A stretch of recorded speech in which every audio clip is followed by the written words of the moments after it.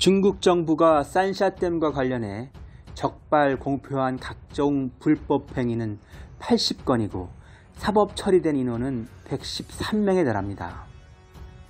규정 위반으로 적발된 자금도 34억 4,500만 위안, 5,900억 원에 달합니다. 산샤댐은 2008년 시험 저수를 시작할 때부터 강벽 붕괴, 토사 유출, 집안 변형이 발생했습니다.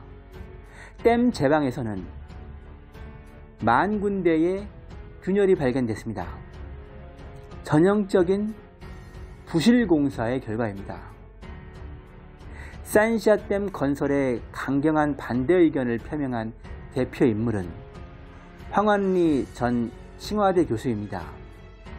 그는 미국 일리노이대를 졸업한 당대 중국 최고 수리학자입니다.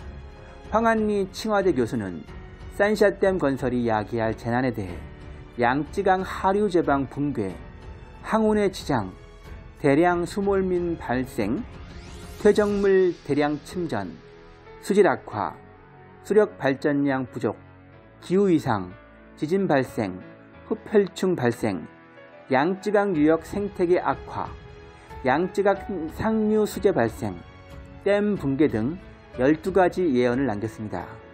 그중 마지막 예언인 산샤댐 붕괴 외에는 11가지 예언이 모두 이미 실현됐습니다. 2009년 작고한 그는 임종 직전에도 산샤댐은 어떻게 해도 운영될 수 없다면서 파괴하는 방법밖에는 없다고 말했습니다. 중국의 올 2022년 5월 말부터 쏟아진 폭우로 남부 양쯔강 중하류 일대가 대범람 위기에 처했습니다.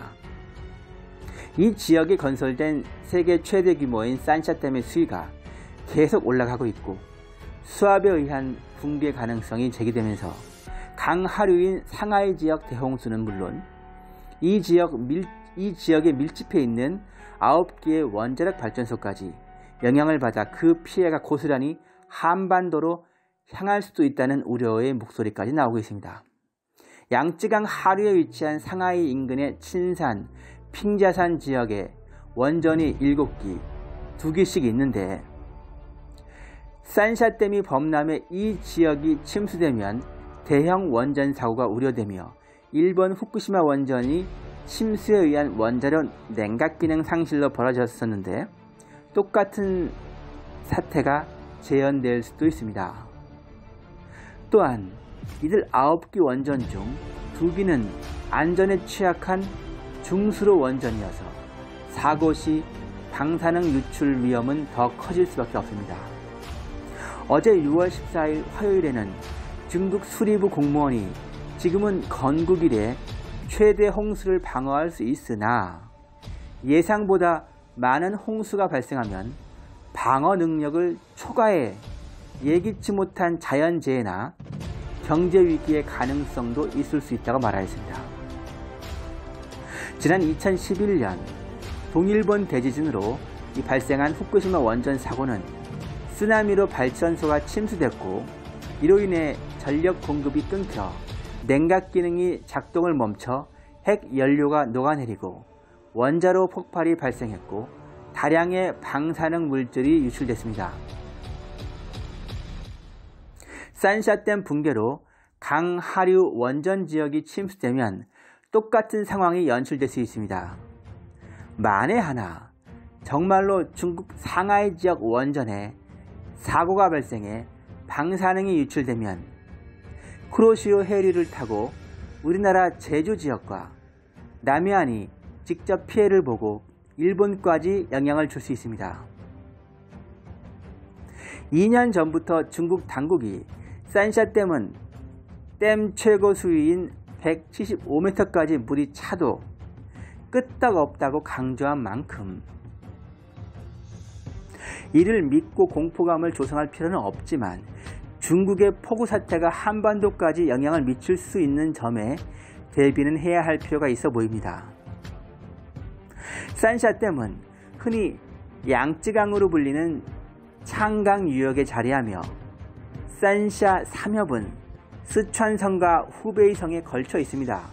총 길이 204km에 달하는 쉬탕샤, 우샤, 시링샤 세 개의 협곡입니다. 댐 최대 저수량, 저수량은 이 한국 소양강댐 저수량의 13.5배 규모이고 한반도 전역에 흐르는 담수량의 2배, 일본 전역 담수량과 맞먹을 정도입니다. 총 공사 기간은 15년, 총 예산 1조 8천억 위안 32조 원이 소요된 대역사입니다. 만리장성 건설 이후 중국 최대 토목공사라는 수식어도 얻었습니다. 산샤댐 건설의 가장 적극적인 인물은 리펑이었습니다. 리펑은 양쯔강 상류, 수천성 청도 태생으로 옛 소련 모스크바 동력대에서 수리공정학을 전공했습니다. 1987년 중국 최고 지도부인 중앙정치국 상무위원이 되자 산샤댐 건설의 당위성을 설파했습니다. 1988년 국무원 총리에 오른 후에도 산샤댐에 대한 집념을 멈추지 않았습니다. 리펑은 1994년 12월 14일 산샤댐 착공을 공식적으로 발표함으로써 오랜 꿈을 현실화했습니다. 하지만 산샤댐 건설 때부터 비리와 부실공사 문제가 지속적으로 제기됐으며 그 중심에는 건설 총괄 책임자 리펑 일가와 측근들이 자리했습니다. 2016년부터 국무원 교통운수부장을 맡고 있는 리펑의 장남 리샤오펑을 비롯해 전력 여왕이란 별칭을 가진 장녀 리샤오린, 전 중국 전력국제공사 회장 차남 리샤오용 등 리펑 일가가 비리의 몸통이라는 지적이 나옵니다. 산샤댐 건설 및 사후 유지 관리에서 핵심 역할을 한 차오강징 양쯔강 산샤 집단 이사장, 구어유밍 후베이성 부성장은 뇌물수수 혐의로 처벌을 받았습니다. 한마디로 말해서 산샤댐은 완전한 부실공사였다는 것입니다. 이렇게 부실공사로 완공된 산샤댐에 대하여 중국 정부는 핵무기 공격에도 충분히 견딜 수 있는 산샤댐이라면서 실제 핵무기 영상을 공개하면서 산샤댐의 안전을 강조하고 있습니다. 시청해 주셔서 진심으로 감사드리겠습니다. 구독과 좋아요, 알람 설정을 꼭 부탁드리겠습니다. 이 채널을 운영하는데 큰 힘이 됩니다. 감사드립니다.